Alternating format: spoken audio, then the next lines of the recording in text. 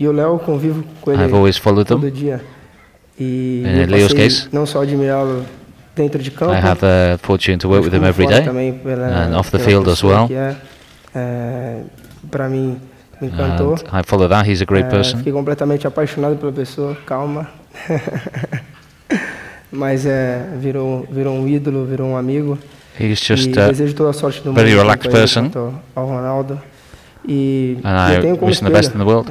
No, yo creo que él no es sucesor de nadie. Ni, I don't think he's anybody's successor. mí ni a nadie. Él Not va a ser- to me, not to va a ser anybody. lo que es él, que es un, He just have to. un He just has to be seguramente va a himself. He's, he's going to be a great, great player. He already is. He's going to get even better. eh, todo para hacer He's lo got que él quiera, depende de él. things to do in the future, and that depends on him. Eh, He's got the aparte de ser, qualities to do that.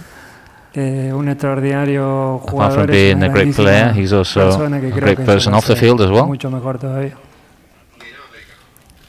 Gracias, gracias. Thank you.